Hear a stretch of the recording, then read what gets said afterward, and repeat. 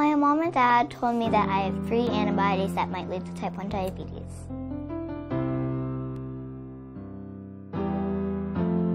It was like a little scary for me. I'm like, what are you guys talking about?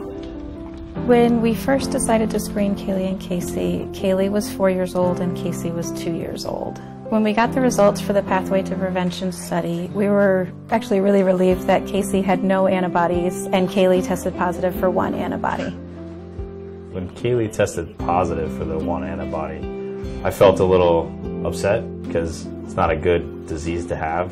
It's very hard to maintain and control. It was kind of upsetting that she was going to have to go through the same trials that I had. I didn't know if she was going to get diabetes right away or when it was going to happen, but luckily the nurses and doctors that were at USF helped and talked to us about everything so that we knew that one antibody does not equal a diagnosis. And with the TrialNet study, Kaley was able to be monitored closely so that when she did, or if she did develop diabetes, that we would be prepared and ready for it. I am participating in this research study because I do not want to have diabetes. Participants are critical um, in the realm of clinical research. In the TrialNet study, uh, particularly when we are focusing on prevention, it's not the individuals that have type 1 diabetes, but it's their family members.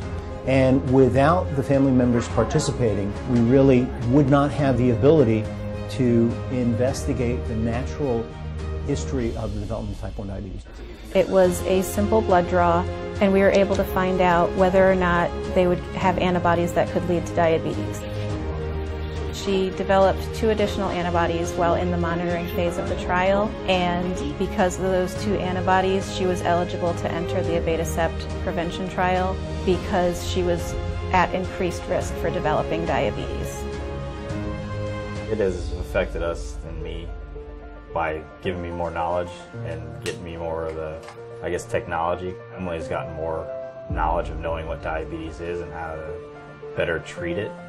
So I think I've become a better diabetic because of it. What I would say to other kids like me is that the shot's only two seconds long and don't really think about the antibodies you have. Just think they might prevent, they might prevent, they might prevent.